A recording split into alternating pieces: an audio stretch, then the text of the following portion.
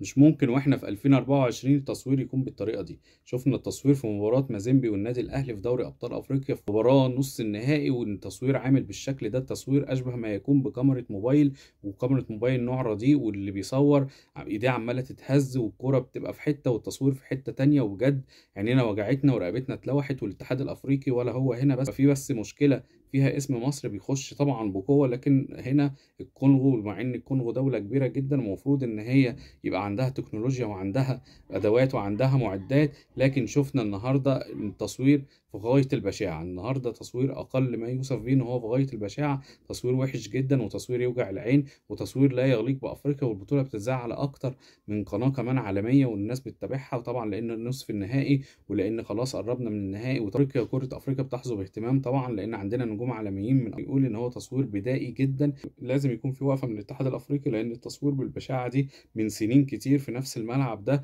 بيتم بنفس الطريقة دي. التصوير ومحدش بيتكلم ولا حد بيقدر يقول حاجة وكل سنة على كده وكل مباراه على كده فطبعا ما دام لا يليق ولا بمازيمبي ولا بالكونغو ولا بالاتحاد الأفريقي ولا حتى باللي بيلاعب مازيمبي طبعا اللي هو النادي الأهلي.